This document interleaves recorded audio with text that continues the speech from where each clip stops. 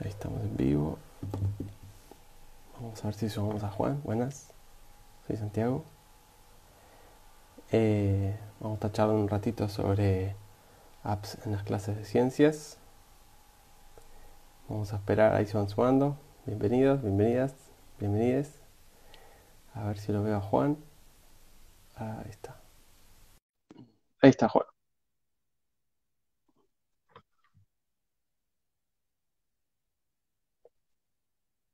Y ahí estamos los dos. Muy bien.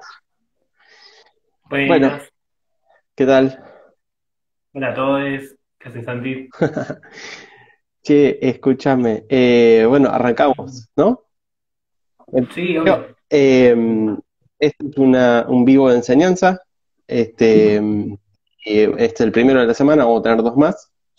Y eh, estos son, es un, parte de un programa del equipo de popularización de las ciencias. Y mm, bueno, este tiene la página de Facebook, está en el título, y si no, yo ya lo estoy publicando.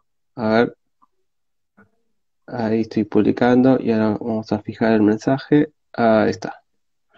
Eh, ahí tienen eh, en el Facebook, bueno, tienen todas las actividades que vamos a tener esta semana y un montón de otras actividades que se están haciendo desde la Facultad de Exactas a través del equipo de popularización. Eh, tenemos, eh, hay charlas de las semanas de, las, de, la, de, las- de la física, la química, todas las semanas de, la- de las ciencias que se hacen este, todos los años, esta vez en su modalidad virtual por obvias razones. Este, tenemos chats donde hay este, investigadores que dan eh, ciertas charlas en, así en formato dúo, son muy entretenidas. Y bueno, no sé cuántas cosas nos depararán más durante este año, pero nada, está bastante movido la, la, la, actividad que hay en popularización, así que nada, es interesante que lo tengan en cuenta para ustedes mismos, para sus estudiantes, para, para tener presente. Este, nosotros hoy con mi nombre es Santiago Espiazu y quien me acompaña es Juan Beiroa. Este, ambos somos eh, egresados de los profesorados Exactas eh, y yo en particular soy investigador del Instituto CEFIEC que funciona ahí en Exactas, donde hay varias líneas de investigación sobre enseñanza de las ciencias. Y bueno, hoy vamos a hablar un poquito sobre eh, el lugar que tiene o el lugar que podría llegar a tener o la potencialidad del lugar de, este, de usar el teléfono en las clases de ciencias. Mm, ¿se me olvidó algo ya? No.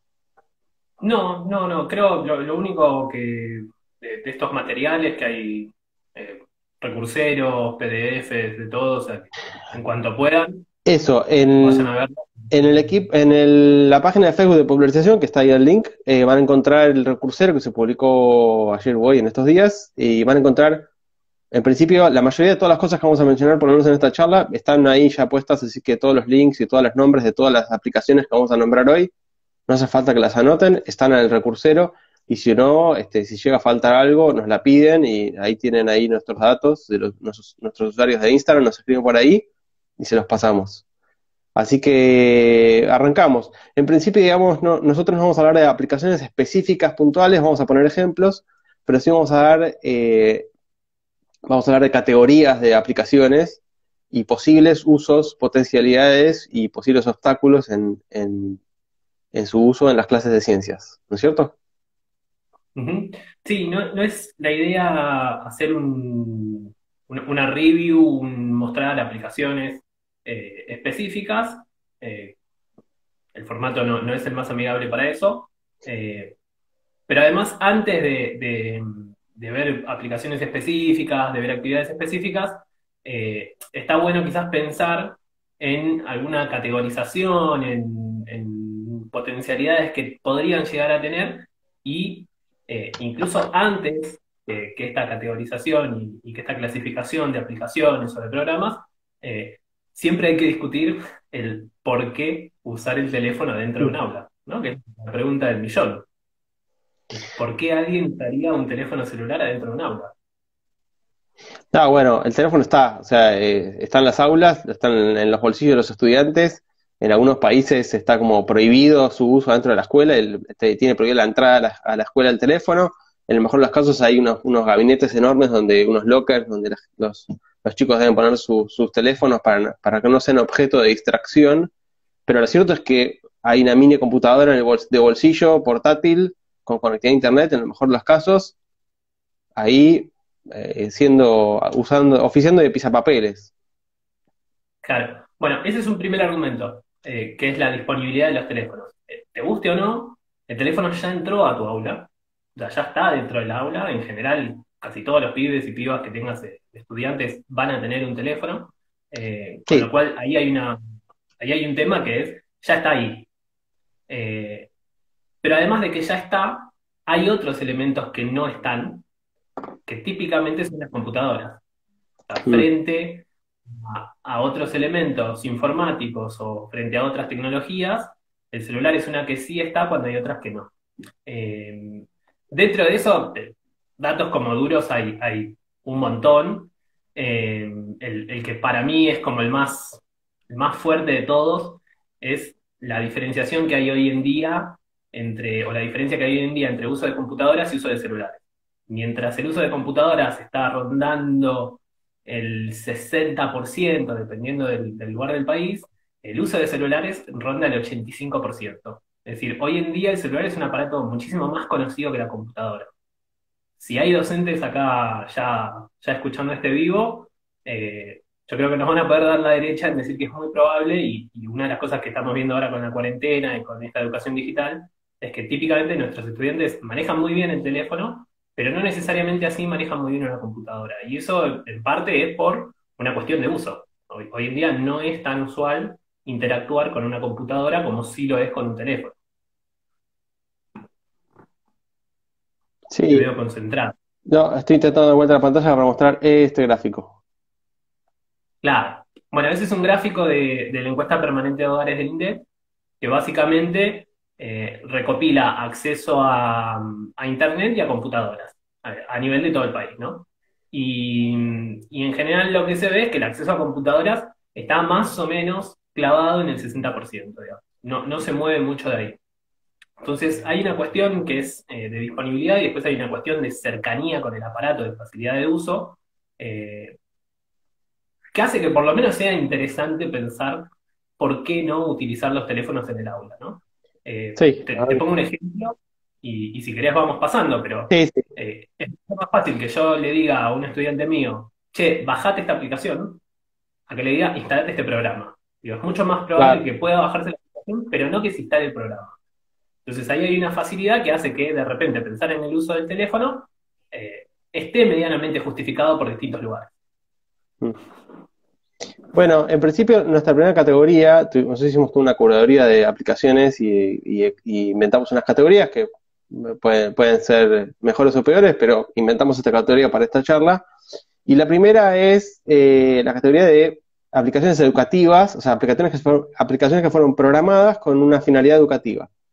Y de esas primeras, este, una de las categorías más comunes es esta de gestión de clase, ¿no? Una aplicación que te sirve para gestionar alguna parte de la clase. Entonces ahí tenemos aplicaciones para muchas plataformas educativas que ya existen, entonces ahora tienen además un formato de, de, app. O sea, ahí metemos en la bolsa a la aplicación de Moodle, a, la de Modo, a la de Classroom.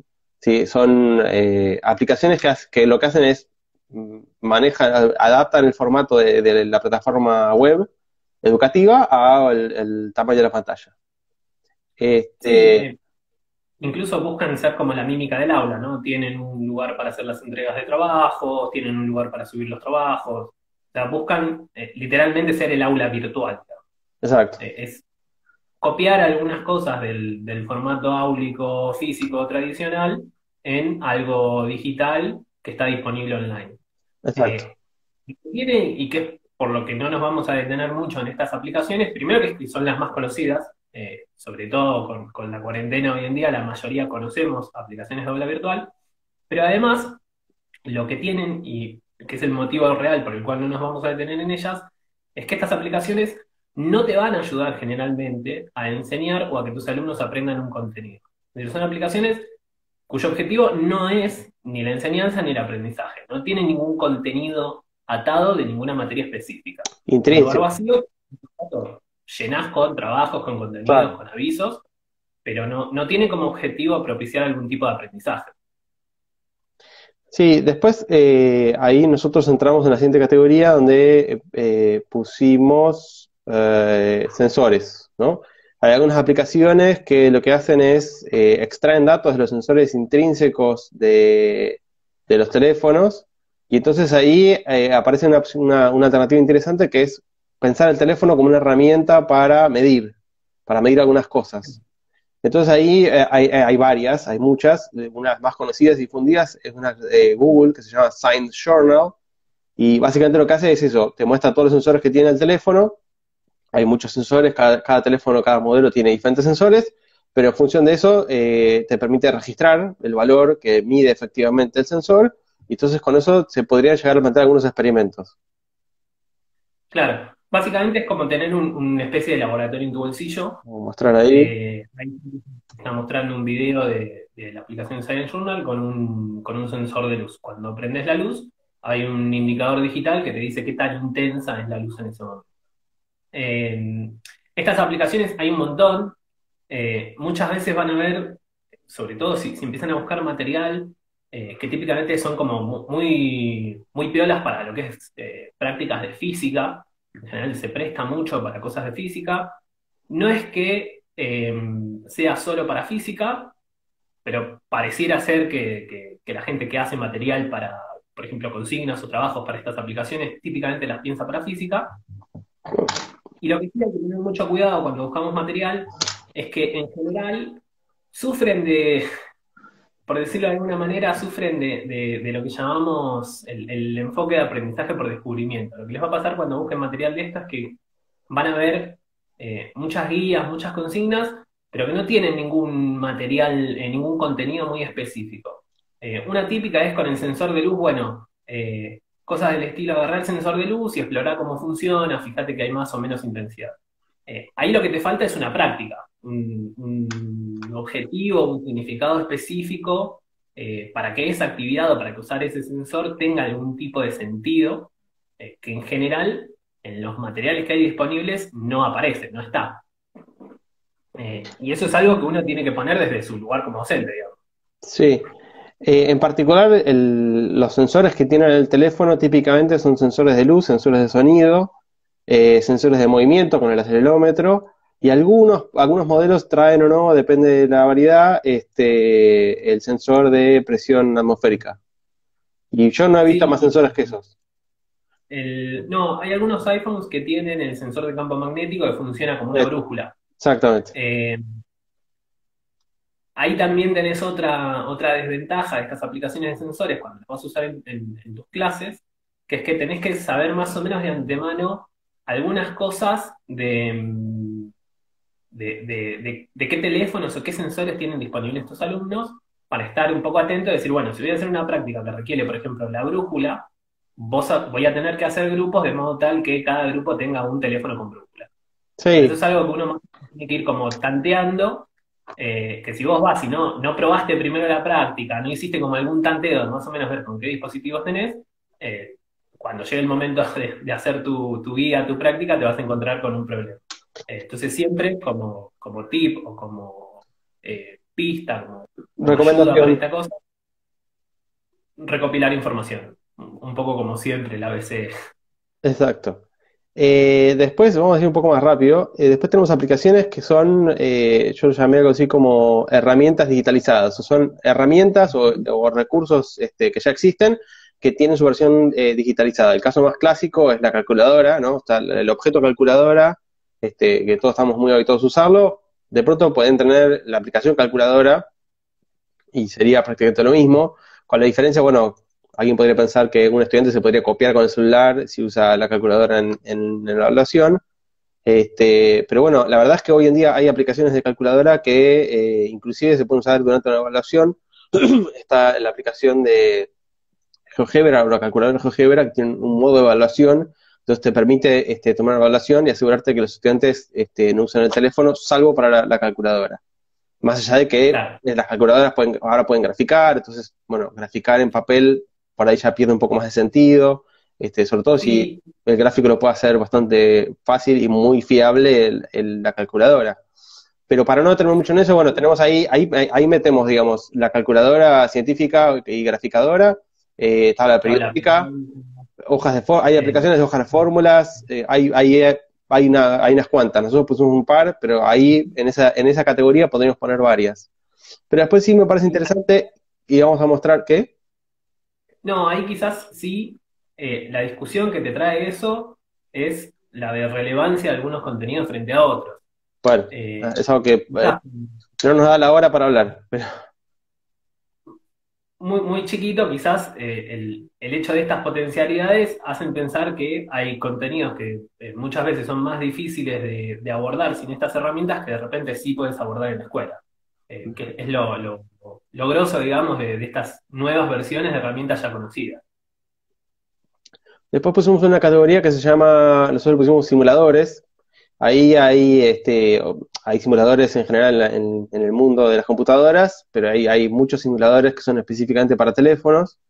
Eh, y ahí lo que parece interesante es eh, la posibilidad de, en principio, tener una especie de laboratorio virtual este, donde, que, que, tiene una cierta potencialidad en las escuelas o en los lugares donde hay el laboratorio físico, pero también está la potencialidad de hacer experimentos que típicamente no se podrían hacer eh, en el mejor de los laboratorios este, del mundo.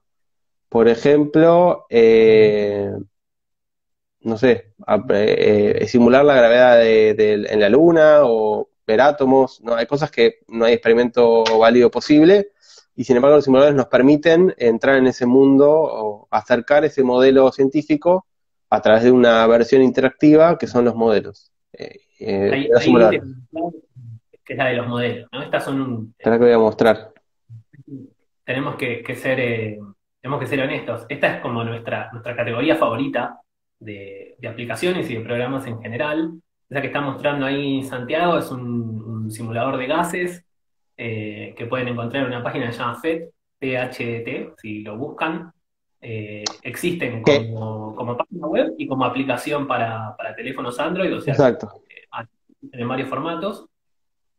Lo que tienen de bueno los simuladores frente a las otras herramientas es que en general eh, son a, nivel, digamos, como, como más coloquial, es básicamente un, modelo, una cosa, un contenido particular, un tema particular que alguien programó en, alguna aplicación, en algún programita. Básicamente emula hacer alguna cosa, algún fenómeno, alguna situación real. No es la vida real, no es la mm. situación real, pero tiene el modelo científico que uno querría enseñar para pensar o para argumentar en esa, eh, sobre, esa, eh, sobre ese fenómeno. Entonces, una de las ventajas que tiene es que acá ya te apareció bien un contenido muy, muy específico, o varios contenidos específicos de tus materias adentro de esa aplicación. Acá hay un objetivo, eh, muchas veces ya educativo, en, el, en, la misma aplicación, digamos. Intrínseco en la, en la simulación. Recién vimos, había partículas y claramente ese simulador pretende, digamos, ser usado para enseñar gases ideales. Exactamente. El otro que se mostraba, que era el del, hombre en la patineta, es un, simulador, yo lo, uso bastante, el, del skatepark, eh, que es un te va mostrando los, diferentes cambios de energía mecánica, energía cinética, la potencial.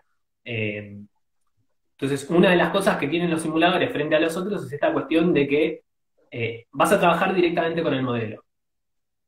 Y es el modelo que muchas veces enseñarías en clase, ahora en una representación que es interactiva, donde el estudiante puede ir y tocar y mover objetos y van a pasar cosas según lo que ese modelo predice que pase o según lo que ese modelo te dice que se deberían comportar esos objetos. Y eh, además, muchas veces, y esta es como uno de los tips, en general son modelos dinámicos. Son modelos que muestran algún cambio temporal, que siempre es algo difícil, Exacto. Nosotros en el aula siempre trabajamos con modelos estáticos, ¿no? O sea, el pizarrón es estático, el libro es estático. Por suerte nosotros no somos estáticos, pero bueno, muchas veces actuamos y oficiamos de partículas o de hacemos de skater. Pero bueno, mejor es tener una simulación con el skater ahí que la gente pueda tocar con el dedo, que además va a ser, esa simulación va a ser interactiva. O sea que el usuario o el estudiante va a tener que interactuar con esa simulación que tiene de fondo el modelo. Entonces, de alguna manera, se produce algún, algún tipo de diálogo entre el modelo científico que estamos intentando eh, comunicar, que estamos intentando que los estudiantes se aprendan eh, y se apropien con el estudiante, ¿no? Es como que permite como ahí cierto, cierta interacción. Exactamente, ahí eh, como, como, pista en general para el trabajo con, con simuladores, como un tip, para pensar en cuáles o, en qué cosas tendría que mirar de un simulador para saber que es un buen simulador a nivel didáctico, eh, siempre está esta cuestión de tratemos de aprovechar que, que muestre un, modelo dinámico, algo que, que si yo toqueteo, que si yo cambio de lugar alguna cosa, me muestre una evolución temporal de algo. Y lo segundo, que sea un simulador bien interactivo. Si esto es como una, una típica, decir, bueno, voy a ver un simulador y el simulador es algún modelo 3D de algo que, que está básicamente ahí, yo lo puedo mover, lo puedo ver de distintos lugares.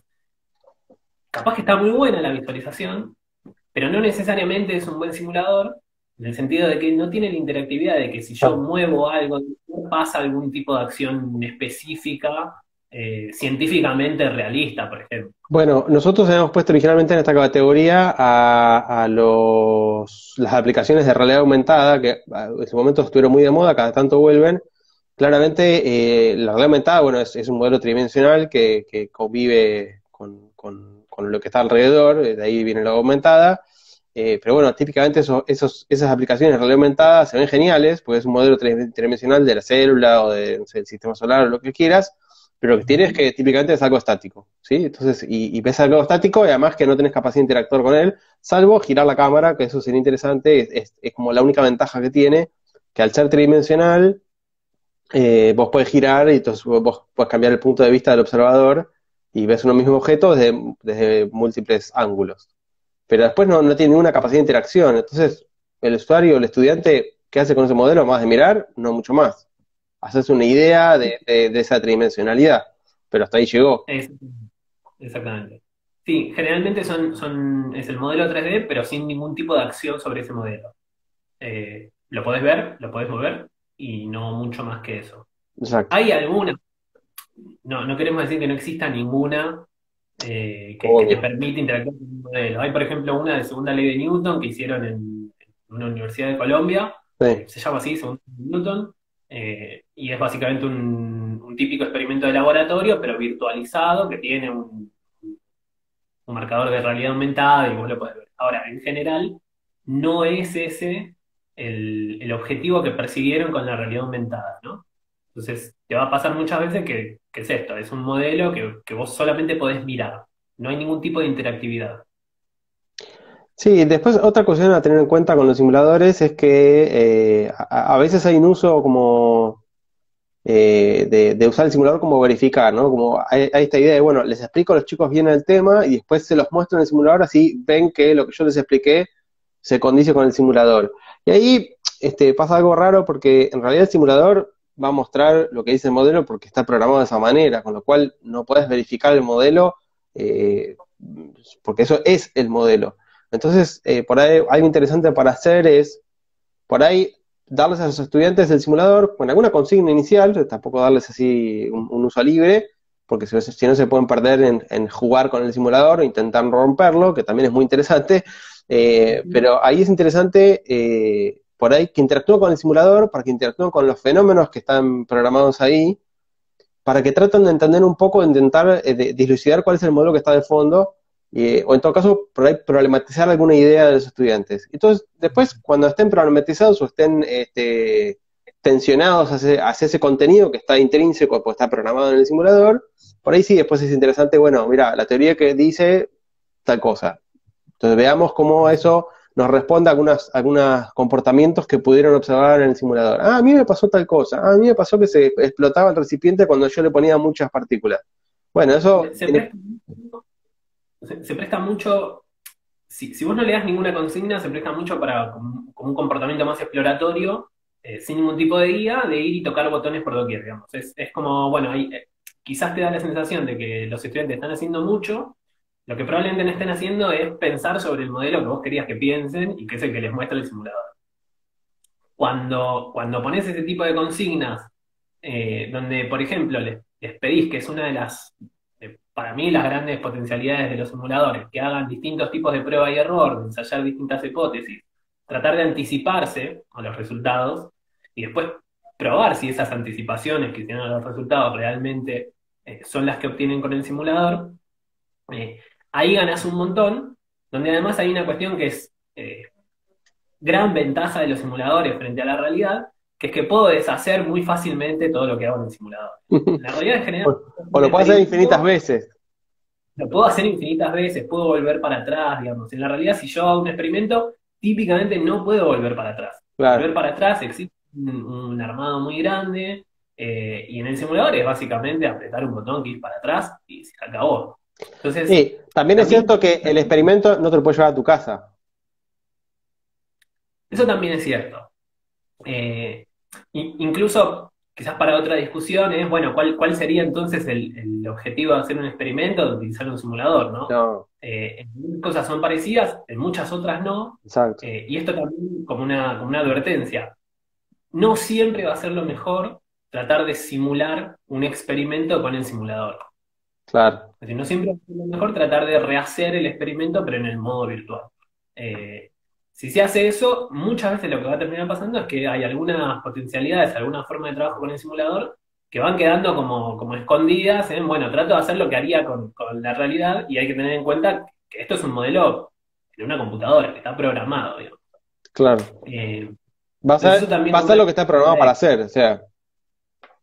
Sí, sí. Ahí exactamente. Ahí es interesante tener en cuenta que bueno, una cosa es eh, la realidad y lo que uno puede llegar a, ver desde la experiencia, y en todo caso después qué modelos construimos o qué modelos construye la ciencia para intentar explicar, predecir, este, describir ese comportamiento que, se produce en la naturaleza, ¿no? Ahí también hay una, hay una, sutil diferencia que a veces se nos pasa, ¿no? Pero bueno, siempre está bueno pensarlo. Eh, ¿Muestro el ah, Baker? ¿Qué? ¿Muestro el Baker mientras seguís hablando?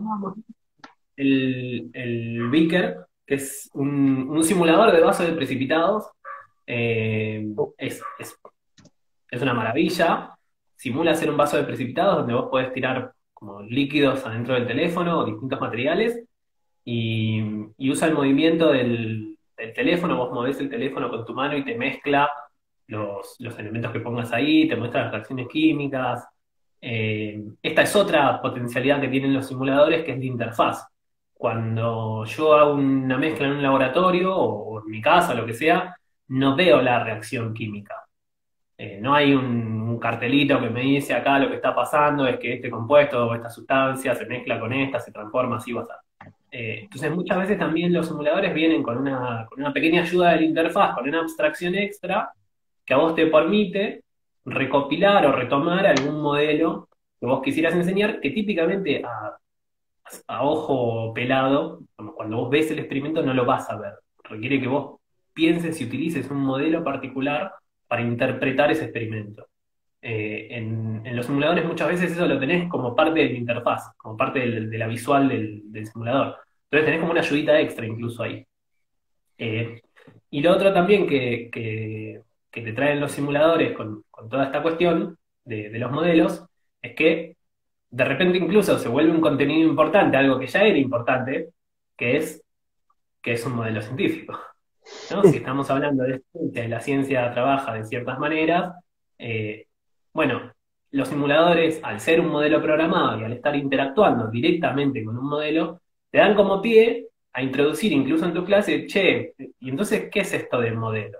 Eh, cuál es su parecido o cuál es la relación del modelo, del simulador, de lo que vimos en la pantalla con la realidad. Entonces de repente te, entró ese contenido que, era importante siempre, pero ahora parece como, como más fácil, digamos, eh, porque estás directamente interactuando con ese modelo. Está ahí. Apareció ahí, está. vamos con el último simulador. A ver. Vamos. Este es un simulador que se llama Star Walk, la caminata eh, estelar, eh, que es un simulador de cielo. Es un simulador de cielo nocturno y, diario diurno también, pero no es fotorrealista. Eh, es decir, no, no ves el cielo tal cual como lo ves si salís a tu patio, pero sí te va marcando, por ejemplo, los, los arcos diurnos del recorrido del Sol, el recorrido de la Luna, eh, te pone nombres de los planetas, de algunas estrellas, satélites. Spoilea eh, Para el, el, el, Stellarium es Exacto. Muy, parecido al Stellarium, pero sin ser fotorealista. Eh, tiene una aplicación, pero es paga. Hay otras, eh, que se llama Observatorio Móvil, cosas así, o sea, hay fotorrealistas. Hay un montón. Esta interfaz es sencilla, eh, que es otra también cosa para mirar, digamos, cuando vos vas a ver una aplicación, bueno, eh, quizás hay alguna que está muy buena, que tiene un montón de funcionalidades, que, que podés hacer un montón de cosas, pero tenés 70 botones, ¿viste? Y bueno, quizás Ah. te conviene que un par menos, que, que no haga 70, que haga 5, pero que las haga muy fácilmente. Eh, eso también es algo como para mirar, que es más técnico, eh, pero también es importante tener eso en cuenta. Acá lo interesante de los, de los simuladores, como para cerrar este capítulo, eh, es que te permiten, digamos, ofrecerle a tus estudiantes una posibilidad de interactuar con, con algún modelo científico en particular, o con muchos, ¿sí? Entonces, eh, digamos, vos, vos podés, los estudiantes pueden no solo escucharte, sino además pueden interactuar con algo que vos, este, que vos les acerques, con alguna consigna, y entonces eh, tiene como alguna, alguna sensación de alguna experiencia, algún, algún tacto, digamos, con, con, ese, con ese contenido que vos crees, que vos traes ahí y pones arriba de la mesa. Eh, entonces, ahí, ahí los chicos pueden traer su experiencia cuando manipularon el simulador y les pasó tal cual cosa, y pueden comparar resultados con varios compañeros, entonces vos podés ahí mediar ese diálogo, y entonces, bueno, ahí pones la teoría, la, la tirás en el pizarrón, y esa teoría, digamos, explica cosas que aparecen ahí en el simulador. Es un, es un recurso, digamos, que, que su, su, potencialidad más grande creo que está en su capacidad de, de interacción, su, interactividad. Eh, y además es un punto de entrada, digamos, es como otra, es una representación más, esta vez dinámica, ¿sí? Eh, muchas veces con las representaciones estáticas, los estudiantes después cuando indagamos este, las ideas que tienen, resulta que por ahí se hicieron una idea que era por ahí errónea o iba para otro lado, este, y con las, con las eh, representaciones interactivas, bueno, eso no digo que eso pase menos, pero digamos la capacidad de interacción hace que, que exploren mucho más y que se involucren también un poco más, ¿sí? Con sí, te da incluso esta, esta posibilidad que, que, decíamos antes de, de, de, la prueba y el error, digamos, ¿no? Es decir, bueno, tengo esta posibilidad de, de probar, de, decir, bueno, si hago tal cosa, creo que va a pasar tal esta, bueno, a, a ver si pasa posta.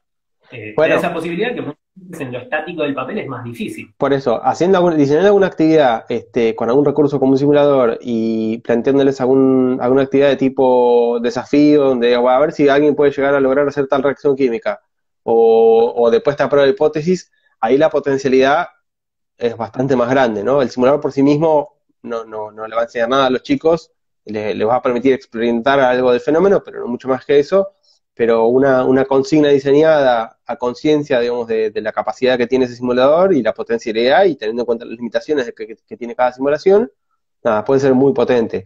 Ahí nos, nosotros nos estamos nombrando, pero ahí podemos meter inclusive eh, el GeoGebra, que es una aplicación extremadamente potente, multiplataforma, este, para, para computadoras, para teléfonos, este, para hacer cosas este, geométricas, eh, no sé, planilla de cálculo, o sea, tienen millones de potencialidades ahí, es como un micromundo.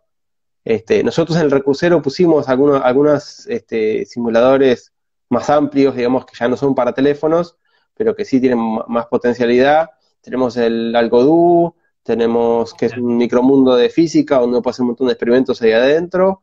Eh, teníamos eh, uno para hacer experimentos de química, donde hay también varios, eh, todo el material de vidrio y un montón de, de, elementos de sustancias y compuestos para poder hacer experimentos.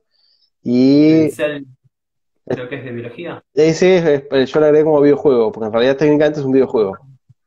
Este, es la no, pero ahí nos, ahí nos llama Darwin Pod, que también este, es para enseñar este, evolución y genética, que yo no, no, no, lo tengo muy claro, pero sé que algunos eh, estudiantes del profesorado lo han usado para hacer una práctica eh, y me han comentado que es bastante potente. Así que nada, o sea, hay, hay muchos simuladores. En particular para teléfonos son, son un poco par menos, digamos, que para computadora. El, el, la computadora se presta mucho un poco más para, para hacer este, simuladores más, más potentes y con más capacidad de interacción. Pero aún con los teléfonos, digamos, en lugar donde por ahí no hay computadoras, pero sí hay teléfonos, hay bastantes simuladores para teléfonos este, para sacar jugo y, poder aprovechar dentro del aula. Hay una, una recomendación eh, en, particular que es, eh, sí, de una aplicación o de una cosa en particular, que es vayan a ver las, los simuladores de FET. Eh, FET tiene simuladores de física, de química, de biología, de matemática, tiene un montón. están disponibles en Android, en iPhone no sé, pero en Android hay disponibles. En iPhone es de pago, me parece. La realidad es que están muy buenos. Sí, la verdad que sí. Y ahí le perdimos a Juan, ahí volvió. Ahí estoy, ahí estoy. Le perdimos por un eh, están buenos los, los simuladores de, de, FED y hay muchísimos para elegir.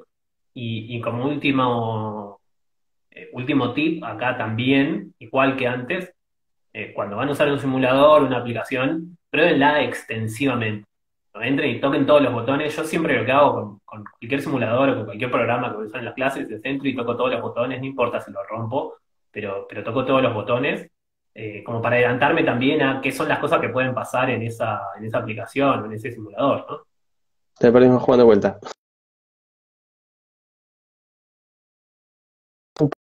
Ahora, hola Juan, terminará su tip. ¿Ahí volviste? ¿Estoy? Ahí estás.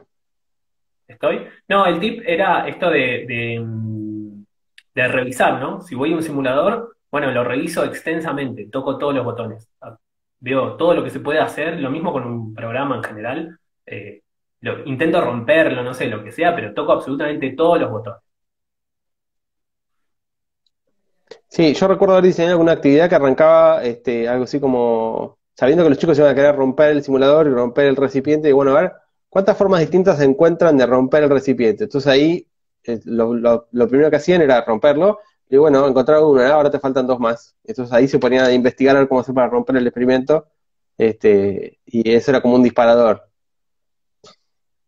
Con esto cerramos el capítulo de hasta ahora aplicaciones educativas. Probablemente haya más, probablemente podemos hablar más categorías, pero para esta hora que teníamos para Instagram nos pareció que con esto más o menos cubríamos las aplicaciones educativas, insisto, que fueron programadas para un uso educativo y cuando uno eh, trabaja con, la, aplicación, claramente le, encuentra un uso educativo porque está programada para eso. Y ahora abrimos la otra, la otra carpeta, que es aplicaciones no educativas, que podemos resignificarlas para darle un uso educativo, este, que probablemente requieran algunas consignas por ahí un poco más este, claras y explícitas, para que este, no, no empiecen a usarla para otras cosas, este, pero porque la aplicación misma no, no se puso, no tiene esa limitación. Y, en principio, digamos, eh, la primera categoría, la subcategoría que agregamos fue eh, aplicaciones utilitarias, o sea, aplicaciones que sirven para muchas cosas, pero que para, para, un docente, digamos, podría ser una especie de convertir nuestro teléfono en una mini navaja suiza, que uno podemos hacer varias cosas este, que, nos pueden ser útiles para nuestro día a día cotidiano, eh, con y sin pandemia, ¿no? Porque hay muchas cosas que, que, estoy leyendo que anotamos ahí que se podrían hacer tranquilamente, inclusive en, en una un año tradicional. Por ejemplo, este, digitalizar materiales. Hay muchas aplicaciones que sirven para escanear, entre comillas, usar la cámara para digitalizar algún material. Eh, nada, eso está súper interesante, ¿no? Puedes agarrar un libro, un manual o lo que sea, algún material que esté por ahí dando vueltas, este, hacer tu propio compilado digital. O sea, en vez de tenerlo en fotocopia, este, puedes digitalizarlo. Desde más hasta decir que en este contexto está muy interesante esto de poder mandar una copia digital de un, de un texto. Eh, típicamente las aplicaciones te, corrigen este si, si sacas la foto medio fuera de ángulo, te ponen eh, el contraste, hay, varias, varias aplicaciones gratuitas, que para algunas con publicidad, otras sin publicidad, pero que, ah, tienen algoritmos para mejorar digamos, la calidad de esa digitalización. Sí, Juan. No, eso es muy importante porque eh, no, sé cuántas páginas de, Instagram de docentes siguen, pero, pero es típico el, tema de te mando la foto eh, con, este trabajo, con este texto, con lo que sea, la foto desenfocada, eh, toda doblada. Entonces muchas veces estas aplicaciones tienen algún algoritmo adentro que te corrige ese tipo de cosas. Eh, te lo mejora un poco. un, poquito, aunque sea como para, para no tenerlo tan, tan desenfocado, tan corrido muchas de estas aplicaciones, incluso para, para, compartirlas con los estudiantes, decir, bueno, mira, si me vas a mandar eh, tu trabajo, eh, quizás en vez de mandarme una foto, me mandás este escaneado en, formato PDF, que me lo corrige, me lo pone.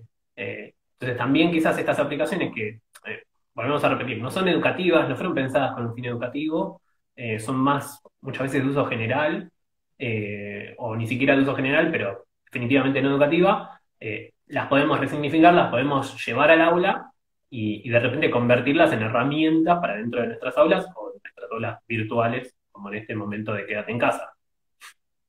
Em, después, ¿En ese sentido? No, eh, eh, por ejemplo, si trabajas mucho con los celulares, si estuviste viendo el vivo de, apps en tus clases de ciencia, eh, aplicaciones, por ejemplo, que te graben la pantalla del teléfono o querés mostrarle algo con una aplicación en particular a tus estudiantes, bueno, grabás un pequeño videíto con una grabadora de pantalla. Yo uso una que se llama X Recorder, Recorder, le buscas grabadora de pantalla y te salen miles. Entonces le mando un video con, algún tutorial donde se muestra la pantalla de mi celu, estoy entrando acá, estoy haciendo esto, así, o sea. Eh, muchas veces eso te permite eh, saltar esta cosa del, bueno, bajate tal aplicación y empezás a hacer tal cosa. Bueno, profe, ¿cómo hago? Claro, bueno, también eso es importante. Eh, cuando empezamos a usar aplicaciones o el teléfono con los, con los estudiantes, hay que entender que ellos pueden tener mucho dominio del teléfono, pero si nos ponemos a mirar con el ojo fino, en realidad usan algunas aplicaciones muy específicas y las manejan con mucha destreza, por ejemplo Instagram, TikTok, WhatsApp y algunas otras aplicaciones más, pero por ahí vos les, ofreces o les acercas a alguna aplicación que es distinta y en principio no saben cómo usarla y no tienen por qué saberlo, entonces está bueno este, cuando vamos a usar un recurso nuevo poder acompañarnos un poco al principio, sobre todo para que el estudiante no se frustre y, y lo pueda utilizar, ¿no? Este, ahí, digamos, la potencialidad de hacer un mini tutorial de menos de un minuto. Así, mira, esta aplicación funciona más o menos así, toca acá, toca allá, y fíjate estas cosas, ten, en cuenta estas cosas. Este, la verdad que es un, es un buen, un buen insumo, digamos, de trabajo para, para las clases. Después tengo anotado, tengo anotado, mira, tiro un par más que son, eh, tiro un par más que son cortitas. Hay una que es súper sencilla que es solo sirve para, para iniciar el teléfono según eh, eventos de calendario. Con eso, yo desde hace años que nunca me suena el teléfono en clase, solo porque programo las clases que yo tengo en el calendario y con ese programita se llama Polite Droid. El teléfono cuando sabe que tengo algo en el calendario, se pone en mute. Y con esa cosa sencilla, nunca tuve el papel este que te suena el teléfono cuando estás en la mitad de clase, que todo el mundo así, y todos se ríen porque supuestamente no se puede usar el teléfono y a vos te suena. Eh, en esa línea, en esa línea, hace un, par de días vengo probando aplicaciones eh, de bloqueo de otras apps. Se, llaman App Block o Block App. Y básicamente vos podés elegir bloquear algunas aplicaciones, esto también para llevarlo a la clase. Eh, por ejemplo, vos podrías agarrar y acordar con tus alumnos, bueno, en alguna clase bloqueamos estas aplicaciones. Eh, o mismo en este momento, yo trabajo de pandemia, empecé a pensar que habría demasiado alguna que otra red social y digo, bueno, me la un ratito y trabajo muy fuerte. Claro. Están ahí y, son realmente sencillas. Después tenemos eh, aplicaciones para leer ebooks, ¿no? Este formato electrónico de, libro. Este, hay varias aplicaciones para leer ebooks. De hecho, hay aplicaciones para acceder a, una biblioteca de ebooks. Te prestan un ebook, este, creo que por un mes. Te prestan tres libros por mes, algo por el estilo. Y en principio podría servir para leer en general, pero bueno, si tenemos textos este, que son apropiados para ciencias naturales, este, nada, tener la posibilidad de poder leer con el teléfono, la verdad que es bastante accesible. Además, hasta decir que uno podría llegar a producir este, textos o escritos en este formato, y lo que tiene los, los ebook readers es que en realidad te ajusta el tamaño de la letra y el texto se acomoda a la pantalla, ¿no? Sabemos que la mayoría de los textos que nosotros producimos están pensados para computadoras del tamaño de 14 y 17 pulgadas, para ese, para ese tamaño de monitor, pero bueno, muchas veces nuestros estudiantes tienen la pantalla pequeña, este, de 5, 6, 7 pulgadas, lo que sea, eh, y bueno, ese texto tienen que andar, tienen que andar como mirando y buscando, como si por, por, el ojo de una cerradura y estuvieran mirando y tienen que leer ahí, es como muy complicado. Entonces, estas aplicaciones para leer ebooks o ese formato de, de libro electrónico, te ajusta automáticamente todo el texto para que se vea bien en la pantalla pequeña nada, es eh, muy potente, ¿no? hace la lectura mucho más cómoda, típicamente viene con fondo así de color suave, entonces no, no, te, no te cansa la vista, eh, son bastante interesantes. Nos quedan casi 15 minutos. Yo una cosita agrego que incluso si usas eh, Google Docs, cuando, cuando vas a bajar tus documentos te da la, la opción de bajarlo en formato de. Eh, ni siquiera es que es difícil bajar tu en, formato de ebook está ahí con un tipo de archivo. Sí, algo tan sencillo, tan sencillo como las, las consignas de una clase o, no sé, un cuestionario o, no sé, las consignas para un trabajo práctico, tenerlas en formato digital y poder compartirlas con los estudiantes, que los estudiantes puedan mirarlo del teléfono en vez de tener que copiarlo, en vez de tener que mandar a la fotocopiadora que hagan copias para todo el mundo y repartirla y andar pegando papelitos por todos lados. Este, que se puede seguir haciendo igual, digamos, pero tener la posibilidad de usar el teléfono para, para leer un texto producido para la clase y pensar para la clase es más que nada que potente, ¿no? Exactamente. entramos en la última categoría de, aplicaciones no educativas y ya nos quedan, nos tomamos 10 minutos para responder preguntas, que sé que tengo por ahí alguna lista de preguntas ahí esperándonos. La última categoría es videojuegos, que es por ahí la categoría más polémica. Esto sería como, si querés, una continuación de los simuladores, porque en definitiva es un simulador. A ver si pido la pantalla. Ahí. Y bueno, los videojuegos en principio no tienen una finalidad educativa, eso en principio representa un desafío. Esto que están viendo es una, es una aplicación que se llama Cell Lab, que simula la placa de Petri y hay organismos este, celulares ahí adentro. Es muy versátil, muy amplia. En principio es un videojuego, o sea, tiene como, eh, como objetivos que uno tiene que ir cumpliendo y tiene que ir desarrollando cosas ahí adentro. Pero la verdad es que en principio tiene bastante potencialidad para un uso educativo. Pero esa potencialidad hay que explotarla, o sea, hay que buscar una consigna, hay que buscar una configuración específica del, videojuego. Este es tipo medio macromundo, puedes armarte, uh, ya ahí pasamos a otra. Pero puedes, eh, recrear, puedes recrear algún entorno, digamos, este, pero bueno, la verdad es que la, finalidad se la tiene que dar uno y uno tiene que acotar este, el videojuego para, para, poder, para poder extraer esa potencialidad y ponerla en juego este, para la clase de ciencias. Claro, yo acá voy a traer como, la, crítica, voy a tratar de ponerme un poco crítico. Eh, voy a decir algo que, siempre quiero decir, que es ojo con, el tema de la gamificación, está muy de moda. Mm. Hay que tener cuidado.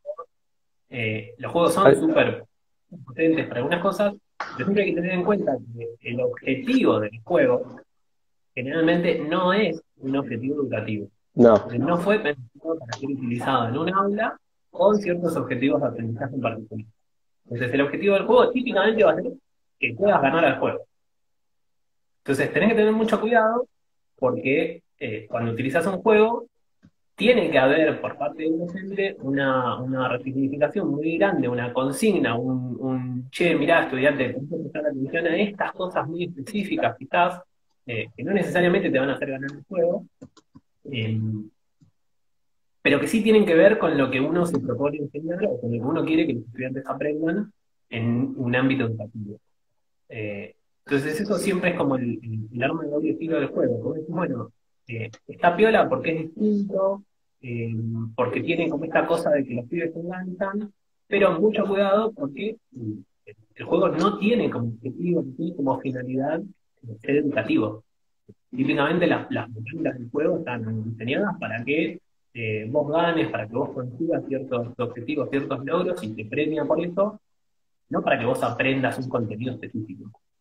No, y, muchas, veces tiene un contenido este, como muy científico, pero de fondo cuando vos empezás a jugar, ni siquiera se pone en juego ese modelo para, para, explotar la jugabilidad, ¿no? O sea, para que vos progreses no tenés que tener ni idea de lo que estás haciendo. Hay una muy, muy conocida que yo no recuerdo el nombre, pero es de química, que vos vas como sumando atomitos y te va, generando todos los elementos de la tabla periódica. Átomos. Eh, claro, pero en principio lo único que aprendes es el orden de los átomos, nada más. O sea, no, usas nada, lo más mínimo, aparte de dos átomos de hidrógeno, hacen uno de helio. No sé cómo, no tengo idea, dos átomos de helio hacen uno de fósforo, no me acuerdo cómo era, pero no, no, no, no hay nada intrínseco este, del modelo científico que te sirva para aprender este, o para que te vaya mejor en el videojuego, ¿no?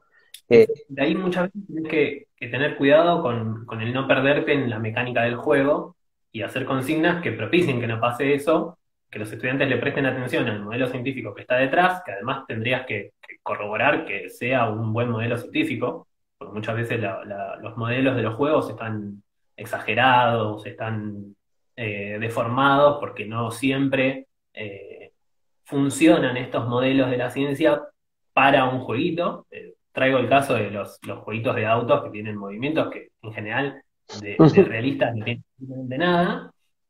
Eh, entonces uno también tiene que, bueno, asegurarse de que sí, que el modelo que usa el juego es bueno y además hacer consignas que apunten a que los estudiantes no necesariamente estén mirando a, bueno, ¿cómo voy a hacer para ganar el juego? Es decir, que no se pierdan en la motivación extrínseca de voy a conseguir estos premios adentro del juego y, que miren algunas cosas como muy específicas que nosotros querríamos que aprendan o que nosotros nos proponemos como, como objetivos para enseñar y para que los estudiantes aprendan. Sí, como todo recurso educativo hay que mediarlo y hay que establecer reglas este, para, para su uso y eh, hay que, eso hay que, hay que trabajarlo. Eh, ya estamos a, a, 50 minutos. Muestro el último y pasamos a las preguntas. Dale. Andá si querés contando.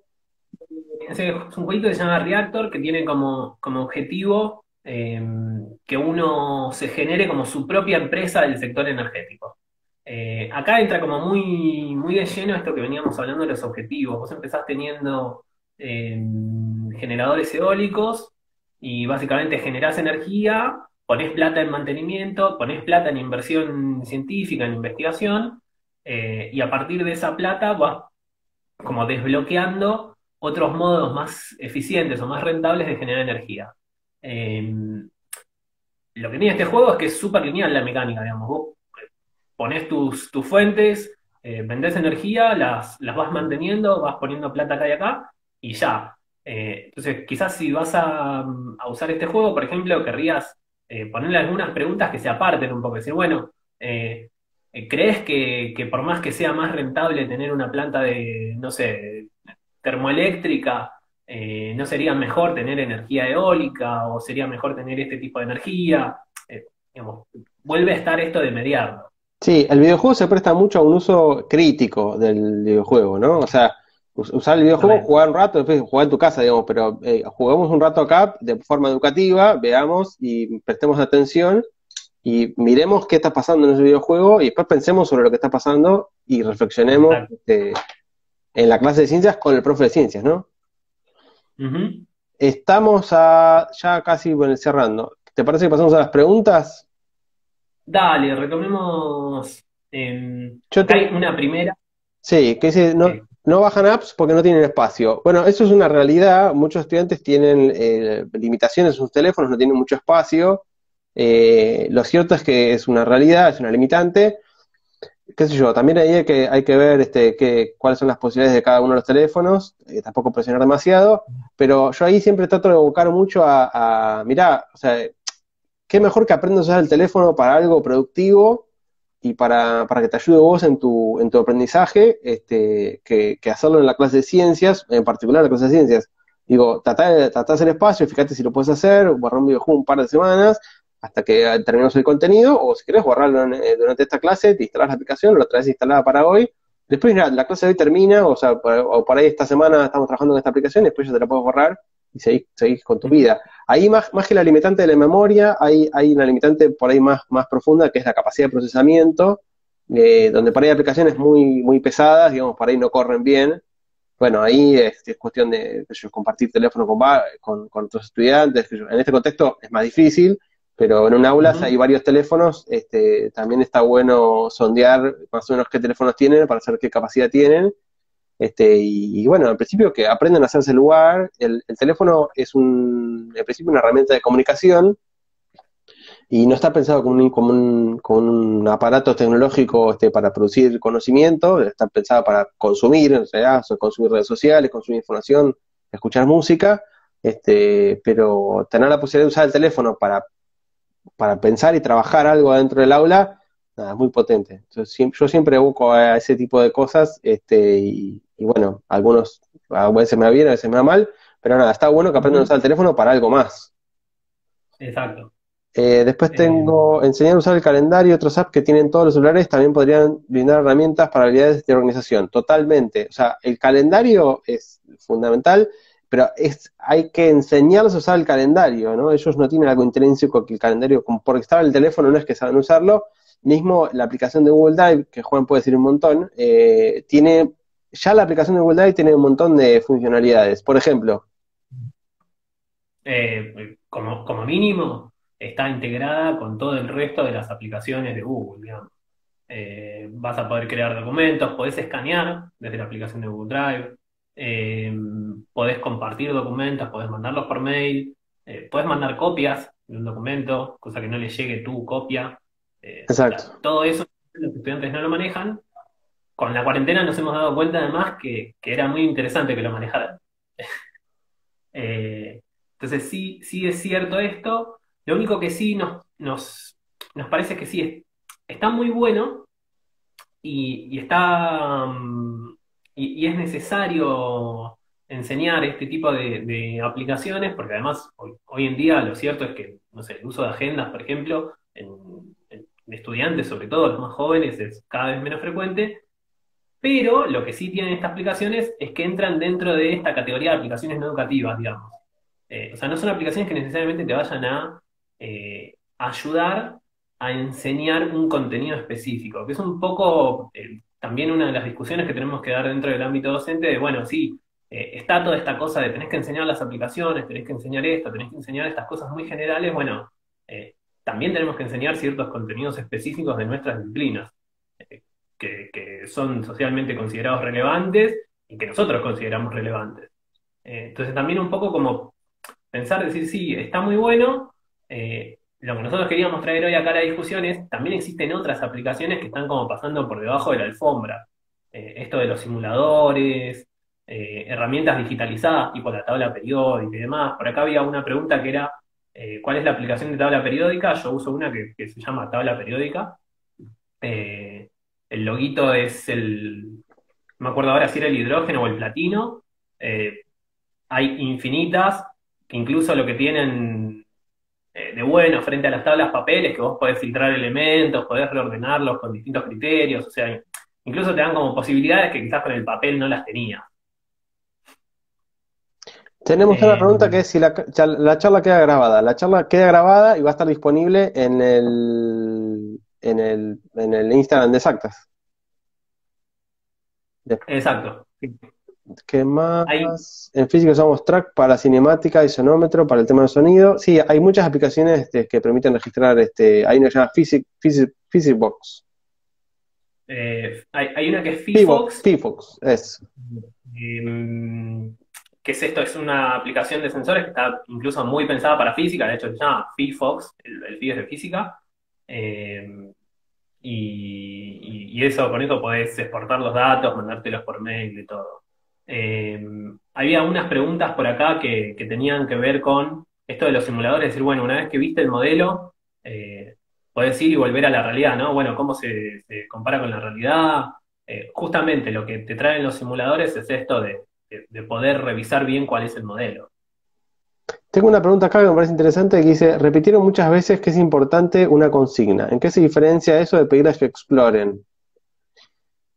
En principio, no, al principio explorar sin, sin ninguna indicación, nada, pasa eso, que los estudiantes empiezan a tocar todos los botones y empiezan a, está bien, interactúan con el, con el módulo que está de fondo, pero sin poner el ojo en ningún lugar en particular. Entonces es como dar una pelota y decir, mira, interactúa. Bueno, yo tiro la pelota para todos lados, no sé si le tengo que tirar el arco, tengo que estar en el aro, o sea, da igual.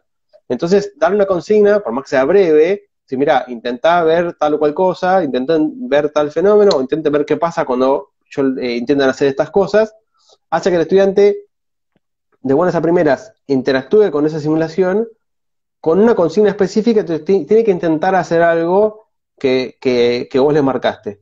Que típicamente vos le vas a marcar que intente hacer algo que sea significativo para, para el contenido y que vos lo puedas después de ahí traer, eh, traer al aula para decir, ah, ¿vieron qué pasaba en la simulación? Bueno, eso pasa porque tal cosa, o digamos, que, te ayude, digamos, para hacer un puente entre el contenido que vos estás intentando trabajar y eso que sucede en la simulación.